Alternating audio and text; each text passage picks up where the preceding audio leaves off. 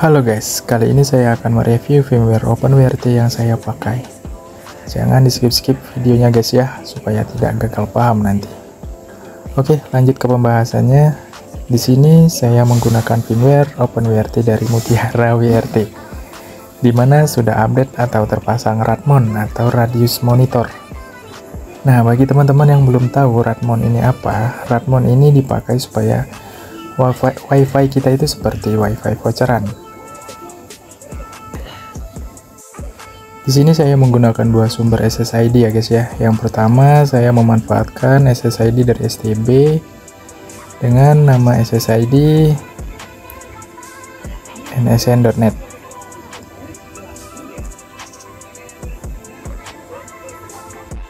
Yang kedua menggunakan SSID NSNnet 2. Nah, ini yang akan kita gunakan nanti untuk WiFi voucheran ya, guys. Jadi dia pakai jalur LAN. LAN ke router. Jadi kita perlu router tambahan nanti. Sekarang saya akan koneksikan dulu ke SSID internal STB. Setelah terkoneksi, sekarang kita akses IP dari OpenWRT-nya. IP 192.168.1.1 Nah, di sini untuk username-nya root ya. Kemudian untuk uh, passwordnya itu mutiara. Nah, namun di sini untuk passwordnya sudah saya ganti ya. Tapi untuk defaultnya itu mutiara, guys. Itu.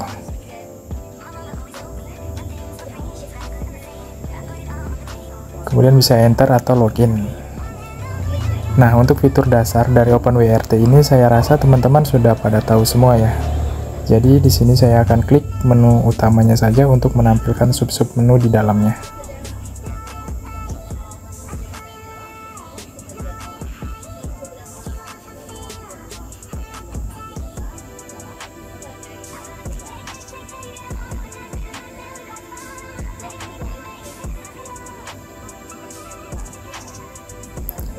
Nah, sebelum menggunakan firmware, biasakan untuk sinkronkan jam sesuai TKP masing-masing ya guys ya.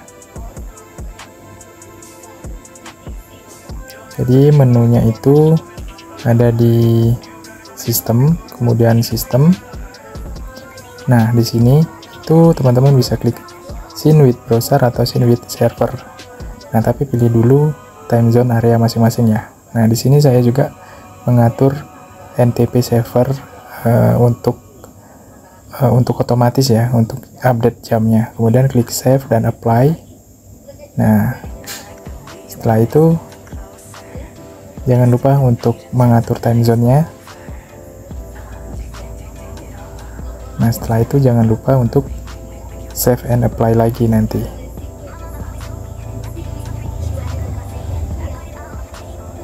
Oke, setelah selesai kita ke service, ke open class. Nah, di sini saya uh, menggunakan open class ya. Open class-nya sudah running, kemudian kita coba cek untuk versi update-nya. Di sini saya menggunakan versi 0.46 beta. Namun di sebelah kanan itu kita lihat itu ada updatean ya. Nah, itu ada updatean namun saya tidak update, guys.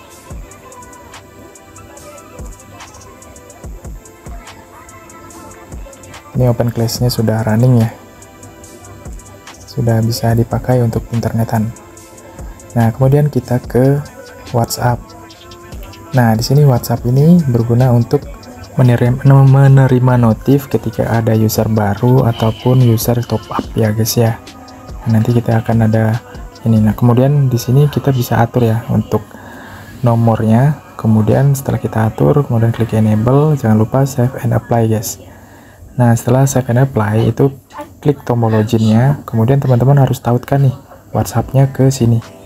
Gitu. Kalau teman-teman nggak tautkan itu nggak akan bisa menerima uh, chat nanti di WhatsAppnya itu. Gitu. Nggak bisa direct ke WhatsAppnya ya. Itu nah setelah selesai setelah berhasil tertaut kemudian masuk ke sub menu ini ya guys ya uh, Radmon Nah, ini radius monitor. Nah, ini uh, saya close lagi ya. Jadi untuk uh, untuk loginnya itu username-nya itu root nah untuk username-nya ini root kemudian uh, untuk passwordnya ini mutiara guys kemudian bisa klik login nah tampilan awal dashboard teman-teman bisa lihat tampilannya seperti ini ini sangat menarik sekali ya untuk tampilannya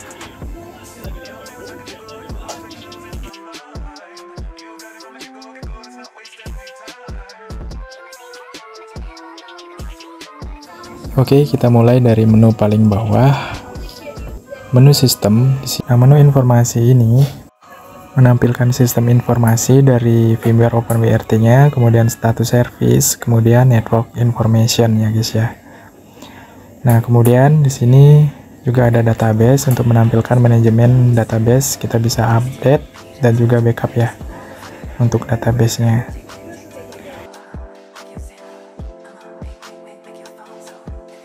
Kemudian ada client tester.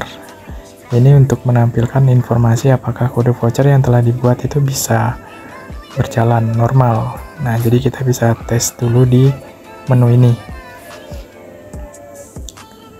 Kemudian ada PHP admin. Nah, di sini saya coba nggak bisa ya, kita nggak bisa akses. Nah, kemudian lanjut ke menu print ya. Nah, di sini ada submenu user.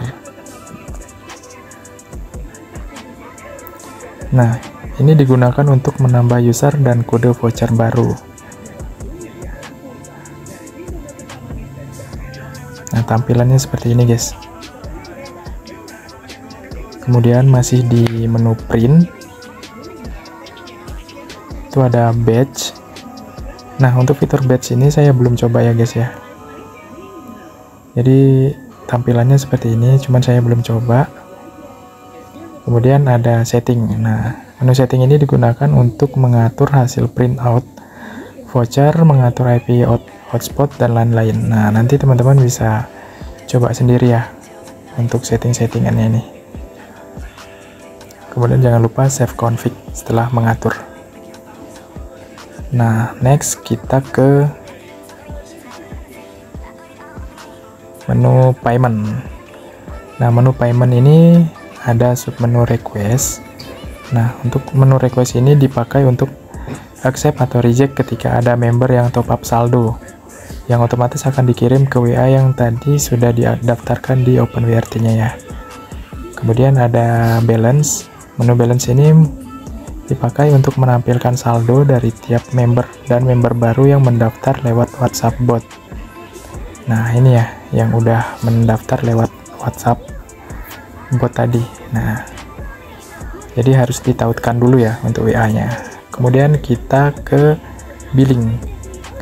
Di sini ada submenu plan. Ya,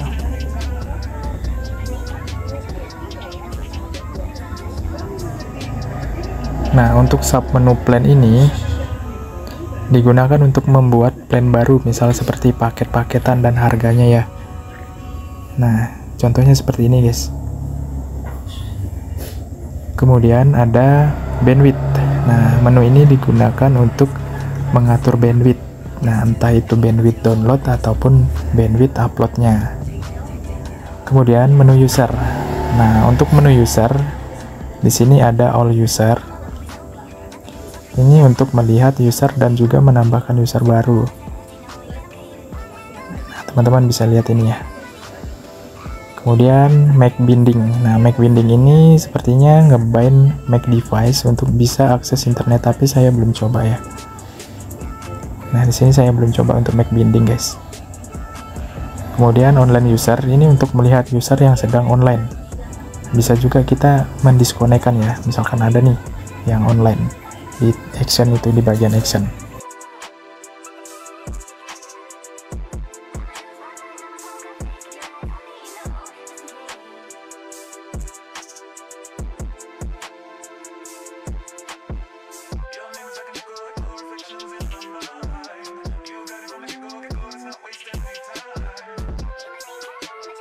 Nah, sekarang saya akan koneksikan ke NSN Net 2 ya. jadi kita akan langsung redirect ke portalnya guys. Nah ini kita udah masuk ke portalnya. Kita bisa input kode vouchernya misalnya kalau sudah punya. Kemudian klik tombol login. Ini untuk tampilannya seperti ini guys. Nah ini untuk member bisa login. Ini untuk daftar kita menjadi member. Nah ini untuk daftar bisa daftar ya. Ini untuk kode OTP bisa langsung ke WhatsAppnya guys.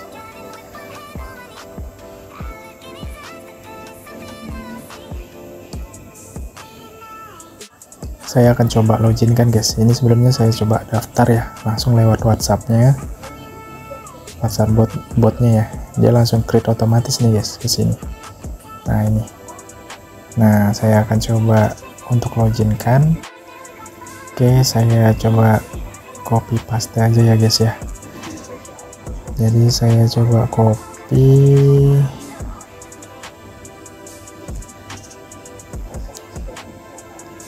Nah, kemudian saya paste di sini. Username-nya sama passwordnya kan sama nih. Kemudian login nah langsung masuk nih oke okay. nah jadi langsung muncul profile. Nah di sana kita bisa input juga sih kalau kita punya kode voucher. Nah ini untuk top up. Nah ini untuk profile ya. Ini profile kemudian top up itu voucher. Kalau kita udah punya voucher. Nah untuk yang ini saya blok guys. Nah sebelumnya ini bisa nih bisa dipakai tapi saya blok untuk sekarang. Nah yang bawah ini itu voucheran yang kita buat nah ini juga ya list paket yang telah kita buat tadi di Radmonnya. Nah ini untuk Q&A nya FAQ ya ini untuk kontak. Misalkan kalau dia mau kontak kita. Tuh mon ini guys dibuat uh, Bang Maizil ya. Ini by Maizil 41 nah untuk yang ini juga saya udah agak modif ya. Untuk namanya nsn.net itu kemudian beberapa juga saya udah uh, ganti ya guys ya. Nomor dari nomor handphone dan lain-lain itu semua sudah saya ganti. Nah sekarang saya akan coba buat ya untuk plan barunya. Nah teman-teman bisa lihat ya. Ini teman-teman bisa isi nih plan name nya bebas. Plan code nya bebas ya. Ini saya coba buat satu hari untuk yang satu hari. Gitu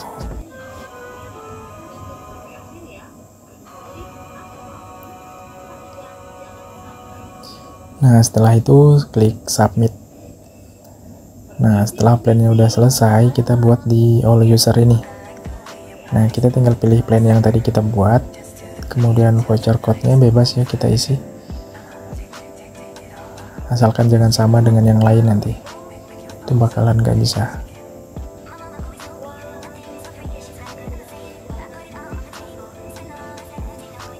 Nah ini nah kita coba login kan oh ini masih salah guys. Ini uh, kayaknya ada salah pengetikan ya. Nah ternyata saya salah ketik guys. Harusnya touch ID di sini teh ID oke kita coba input ulang ya. Nsn dot THID harusnya touch ID ya. Kemudian klik login. Nah ini sudah bisa guys ini sudah bisa connect ke internet. Oke. Nah ini untuk settingannya. Nah kemudian nah ini sudah connect ya. Connected. Nah itu. Kemudian kita coba speed test. Nah kita coba speed test. Kita coba lihat nanti untuk bandwidthnya itu apa. Bisa ke limit ya itu saya buat untuk bandwidthnya itu 5 MB download dan 5 MB upload Nah, coba kita lihat di sini. Nah, kalau baru-baru connect itu biasanya dia uh, agak lama ya, guys ya.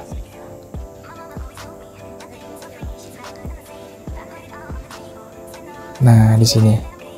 nah itu untuk bandwidthnya nah dia sudah ke limit ya 5 jadi 5 Mbps lah gitu. Untuk speed download kemudian untuk speed uploadnya kita coba lihat.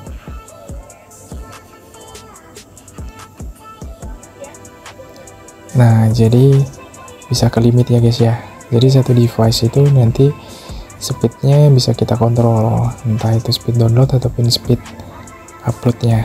Jadi tidak banyak makan uh, bandwidth gitu. Nah firmware ini udah sangat powerful sekali guys. Oke itu ya yang tadi saya setting. Nah itu udah sesuai. Saya buat 5 Mbps untuk bandwidthnya. Link download saya sertakan di deskripsi